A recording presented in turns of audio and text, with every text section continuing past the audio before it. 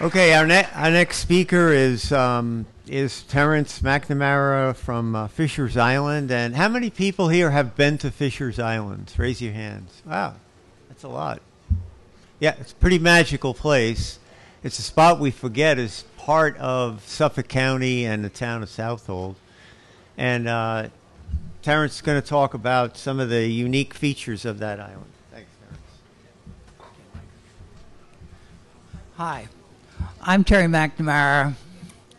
I was a a uh, high school teacher in Commack, math and physics, for all my career from say the 1970s onward.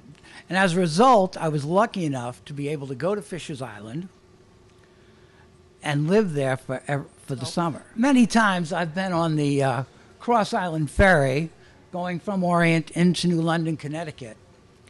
And as you enter the Thames River and you look south, you see actually Race Rock Light and a, a certain amount of land.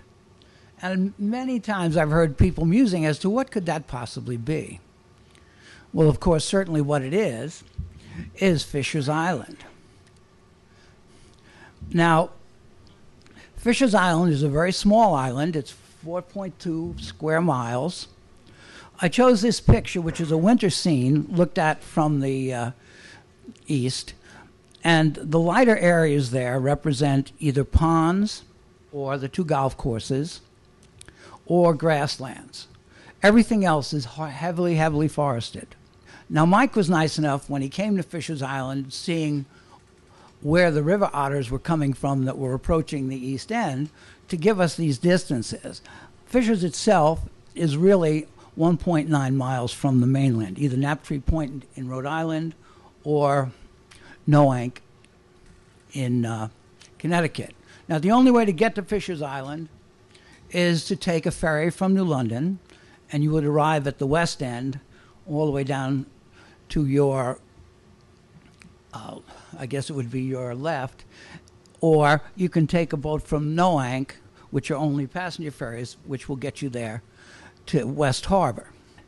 Well, anyway, these are some of the animals that actually do swim over to Fisher's Island. We have every year we have otters, but and the otters go anywhere on the island they want. They're in the middle of town, in the duck pond, all the way to the east end, which is very sparsely uh, occupied. The beavers come only about, through the records we have, every eight years. Fisher's Island is divided into two parts a west end, where most of the people live, and an east end, which is owned by a private corporation. And there's a gatehouse, and you have to have a sticker to get through. And this poor beaver obviously got is on the road just past the gatehouse. He was turned away.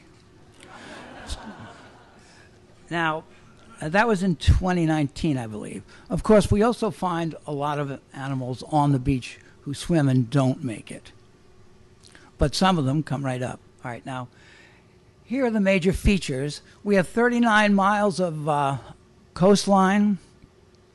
We've got an airport, two golf courses, one of which, the one on the east end, is actually rated in the top 10 in the United States. We have uh, 23 ponds of brackish or freshwater ponds. We have a whole variety. The green areas represent the land trust areas that we manage or own. Rep- we represent, we have control of about 13% of the island. All right. Fishers itself is part of the same moraine as Orient. And it has roads on the east end, which is the large end all the way to the left, and a single road runs up the other end of the island. And as I said, there's no access unless you have a sticker, but there is a, a very, very nice eight foot wide bike path that runs between the two golf courses that anyone can use. Okay, here's an aerial view to give you an idea of what the place looks like. And as you can see, it's mostly forested, and the uh, west end is actually, as I said, where the year round population, most of them live. Now, it has a year round population of 250 people, 200, and- actually, last census, 235 people. But we do maintain a full time school, K through 12, under all the regulations of New York State. And in the summer, the population runs up to about 2,500. Now, one of the most outstanding features about the island is it's surrounded by seagrass, eelgrass, actually. Now, the eelgrass around Fisher's Island represents 98% of the fieldgrass that is still alive, of the eelgrass that is still alive in New York State. It also represents uh, 20% of the eelgrass that is still extant in uh, Long Island Sound. And we get all sorts of visitors to that. You can see, uh, is one of my favorites. The, the, a woman was out and got this, saw this fellow on a, uh, when she was on a paddleboard and, and then called me, but I looked and looked and looked and I was unsuccessful. But the mint green areas show where the uh, eelgrass grows around the island. But one of our best creatures that we have is this little fellow, which is a mink. Now, the way Fisher's Island is, is structured is it's really easy to find and see all the animals. Everything is accessible. So we get to see a lot of the animals. And this one, which arrived about eight years ago, is really a fun creature. Now, they're often seen swimming in the do- in Darby's Cove. That's I, uh, was a picture I took. At the ferry dock, you can also see them hunting along the rocks around Silver Eel Cove. And on the South Beach, you can often see them coming out of the water with fish in that, which is very interesting. Now, the reality of it is, you get to see them, these things. This, is all, this almost all occurs on the west end. The east end is very heavily uh, forested, so it's much more difficult to see them. There you see them crossing the road, you know, with their cute little leaping things as they stalk and kill rabbits and things. They're tremendously aggressive, but they're also good prey items for some other animals. Now, what we noticed at the Fisher's Island Museum, this is a, a picture of it, is that uh, we had this tremendous amount of uh, information, but all our fauna generally existed as uh, taxidermied specimens. We had 100 we have 150 i believe bird specimens. And that didn't you know that doesn't translate well to explain to people what's going on about the island. So i decided to look through the archives though we have extensive archives and i came upon these pictures. We're very big on birds we have all sorts of uh, information on our website we have a, a group of dedicated group of birders that takes an assessment every month and then we collate it, publish it.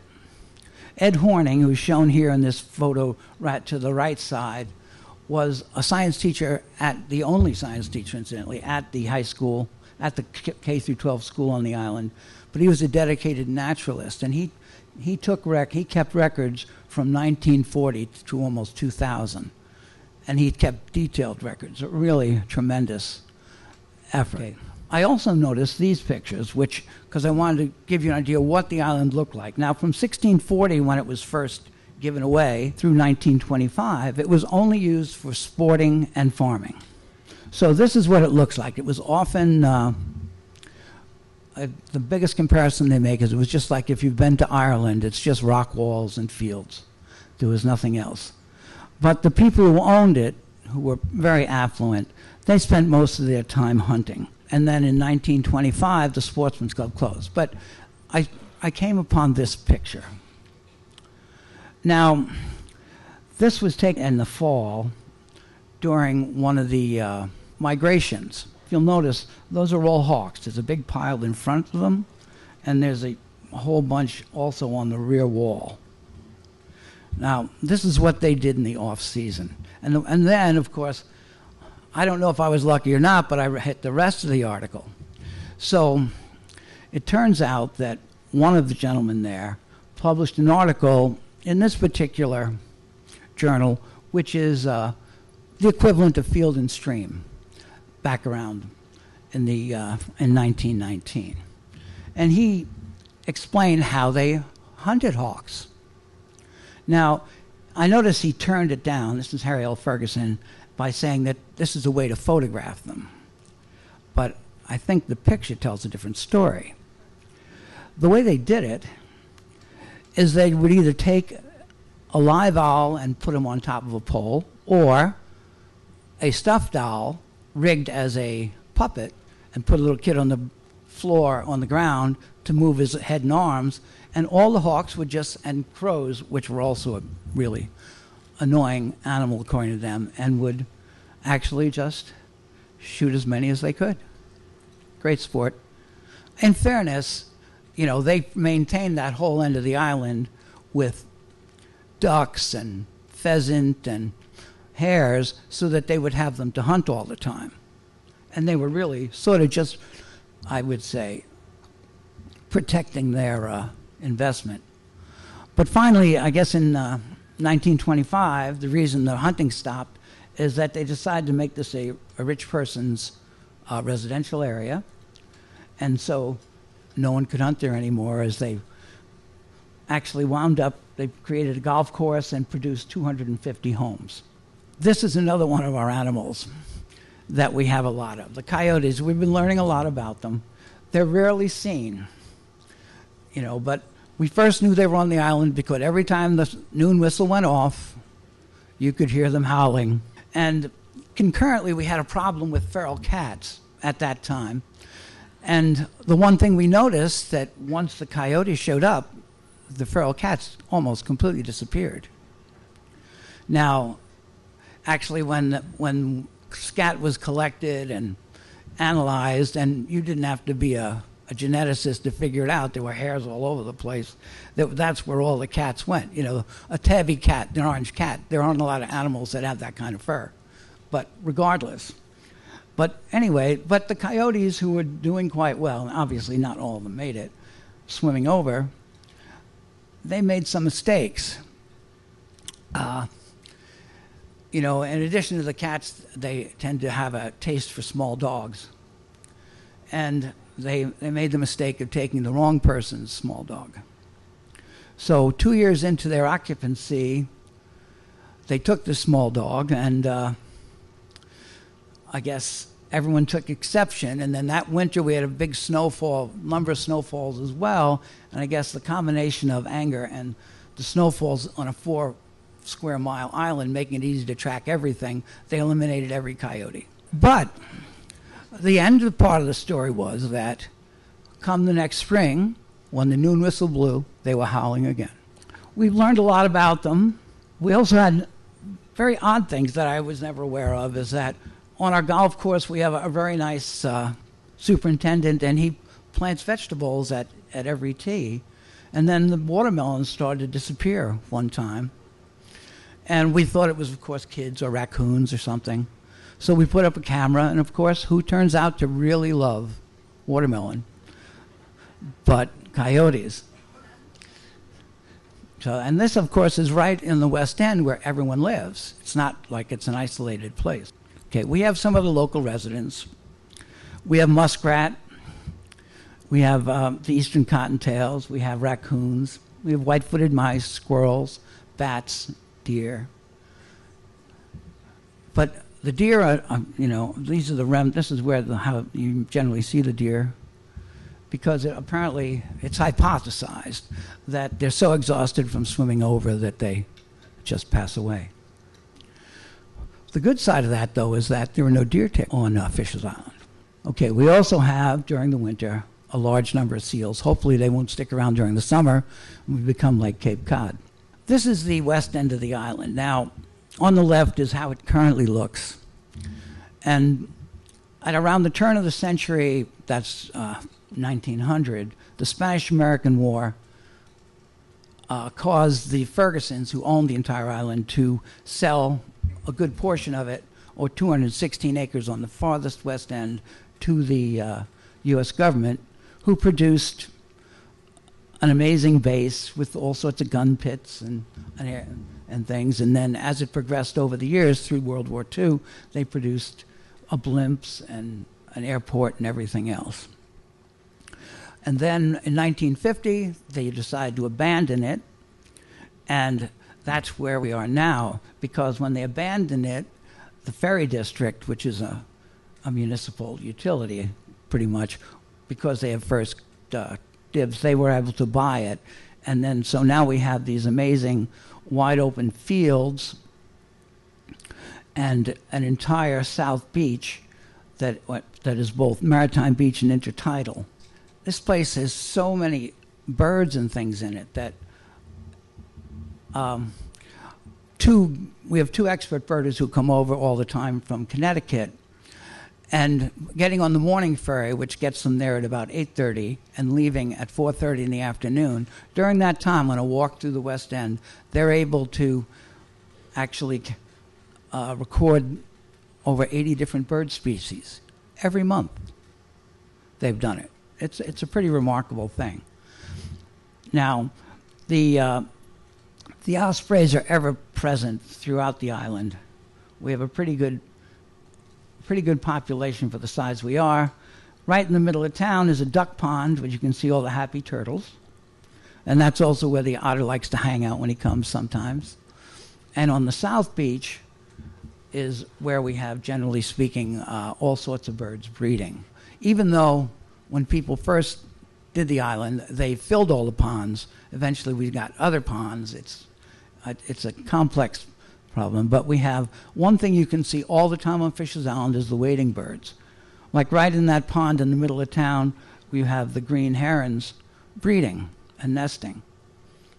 And then in the ferry district and the in Silver Pond, you can even almost always see um, a black crowned night heron. And in the marshes, which are all over, you also see the yellow crowned. We have the biggest waiter we have, of course, is the uh, blue heron here enjoying a bullfrog. Okay, we also have the, the two, you know, oblig- obligatory egrets, the great egret and the uh, snowy egret. Notice the yellow feet. That's how you tell them apart as they fly by. We have two owls that are resident, two owl species. One is the barred owl, which is the old fellow who always goes, Who cooks for you? with his call. And they're all over the place and there's actually one that lives right behind the museum in the woods. And we also have uh, the great horned owls, which nest wherever they like and do whatever they like. Quite often, when they nest in the woods, when I walk through the trails in the woods, I, I actually see, you know, ospreys. The young ospreys are pretty dumb, and they'll go near the nest and wind up having their heads ripped off. Okay, on the South Beach, you hear the some of the species. We have a lot of uh, shorebirds like the spotted sandpiper there, but the oyster catchers and that thing in the bottom is a least tern with a child with a baby and the piping plover all nest there. And they also nest further up the island on some of the other sandy beaches. And of course, we always have ever present in all sorts of places the osprey. I put this one picture in on the left because it was interesting. I was caught just going into the water with his talons, ready to do a little bit of damage. You know, we have a good population of a red-tailed hawk. Here's one enjoying a, a mink. And then um, in the salt pond just behind the, uh, the South Beach, there's a least tern about to enter the water to catch a fish happily now we don't have to taxidermy everything to keep track of it. What we use now is eBird, which is one really the penultimate uh, way to keep track of all the species of birds in any area. You know, all these dedicated birders enter the sites all the time, and we've entered all our records from Fisher's Island on there as well. We have, uh, right, as you can see, 272 uh, species that visit the island though usually in a, in a regular year we only record about 180. All right, we also have a good variety of herps that like to put in appearances everywhere.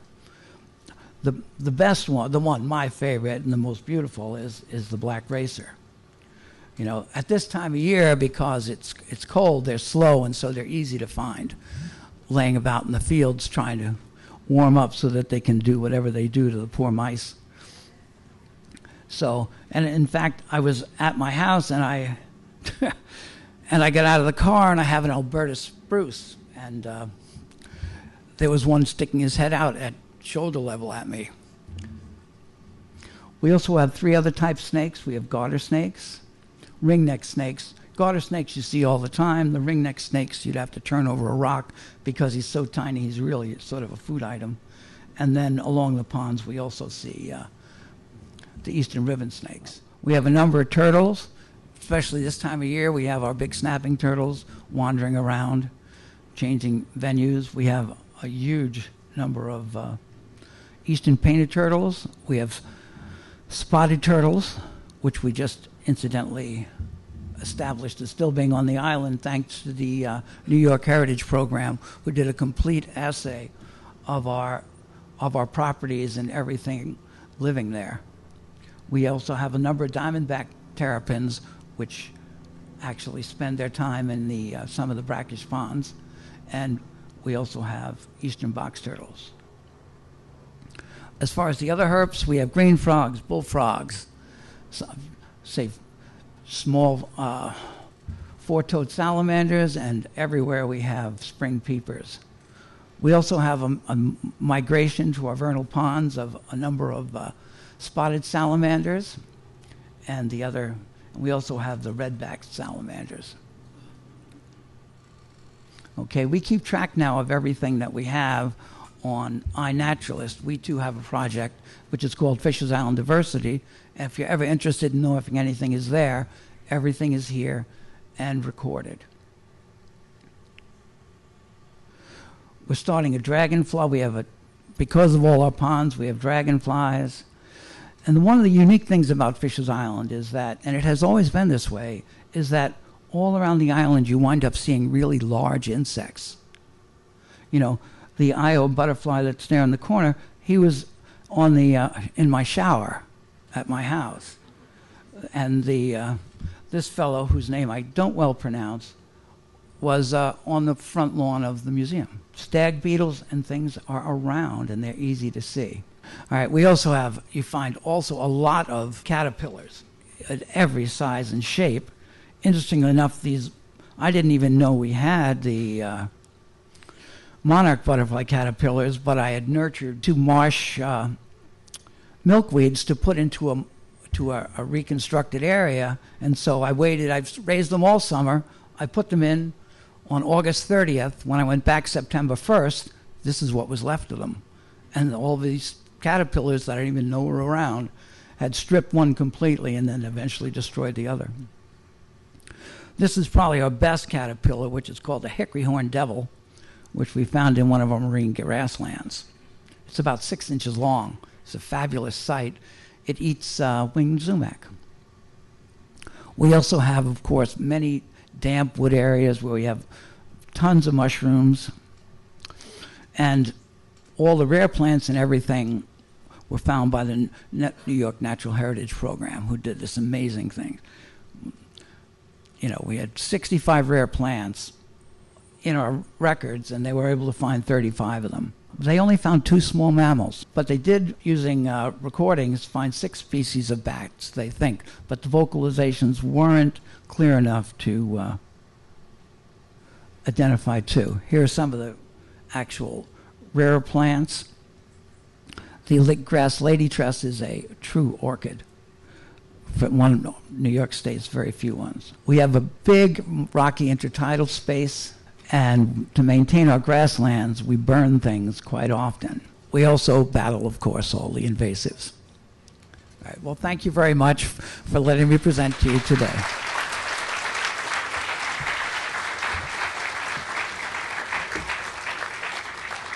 Do you have any spotted lanternfly yet? Have you seen any spot, spotted lanternfly at all out there? No, and what we've been doing is eliminating once we realized that it was going to be a problem, we had a, a profusion of those, uh, you know, the, the trees, the, uh, the, what is it, the uh, that uh, Chinese stink tree or whatever it is, and so we began removing them from everywhere they occur. You know, it's very hard to get to, which is part of the charm. You know, it's one of the reasons that when you go to the beaches on the south, there's just not a lot of pollution. You know, you can snorkel there and see eight feet to the bottom you know, it's it's good that way. But you know, it's us, right? It's population that causes all the difficulties. So, thank you very much.